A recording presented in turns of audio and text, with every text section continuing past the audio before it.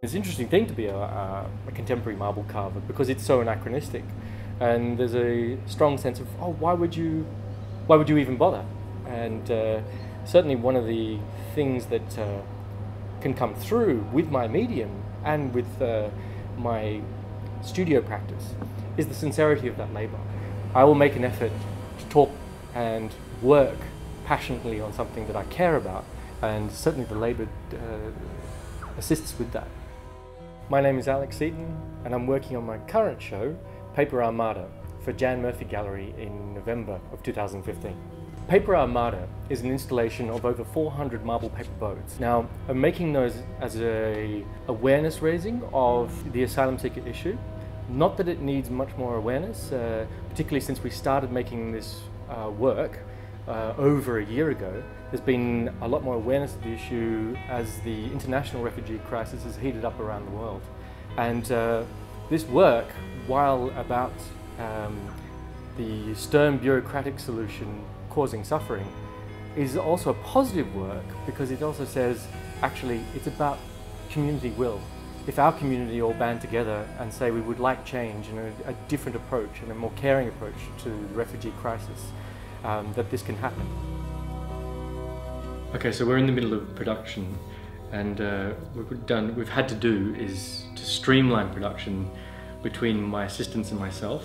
Uh, my lovely assistants Mitch and Gaspar have uh, helped me for quite a while now because there's a lot of labour in some of the artworks I've designed.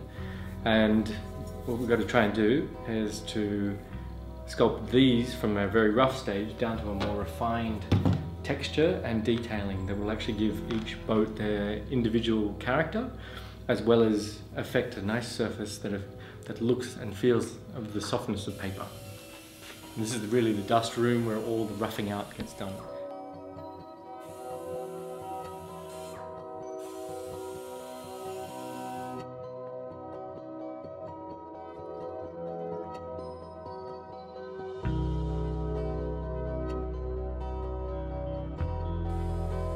And then outside becomes the area where we detail the work and make sure that it um, has more of the refined elements to it. The process of stone carving hasn't changed very much, other than the addition of power tools to the modern sculptor, the, uh, the addition of angle grinders with diamond blades on them, and small dental tools with uh, diamond stones instead, uh, can actually mean that I can shape far more quickly than if I were to use a hammer and chisel. The remaining uh, process is exactly the same. It's about making a series of choices to remove just the right amount of material um, to tell the story. It can be a lot of fun making this much mess. My um, mother fled the authoritarian regime of Egypt with her family in the 1960s and resettled here in Australia. And that side of the family has always uh, carried with it a strong sense of gratitude to the Australian community for having welcomed them. And uh, that sense of service or giving back uh, was always very strong from that side of the family.